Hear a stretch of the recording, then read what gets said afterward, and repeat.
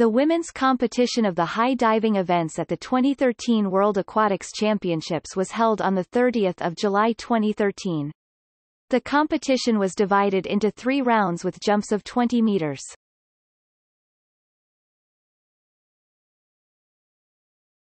Topic. Results The final was started at 1600.